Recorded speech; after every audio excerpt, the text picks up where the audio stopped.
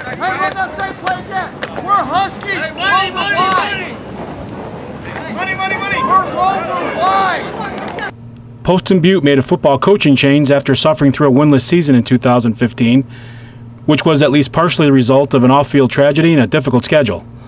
Taking over a football program is not an easy task under such circumstances, but new head coach Cody Collette knew where he needed to start to get the Broncos headed in the right direction. Well, number one, uh, assemble a great coaching staff. I think it's the number one thing you got to do, and I think we've done that. I think our coaches are doing a great job.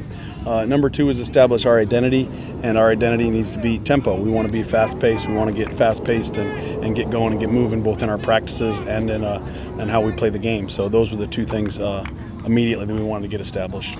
When you compare this year's team at this point and, and last year's team, give me one or two improvements you got that you see so far.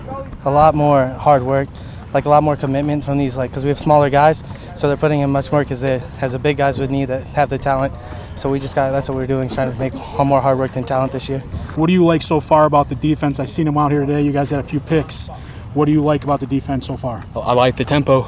It's a lot more faster. It's uh, more hard work. Everyone's having fun.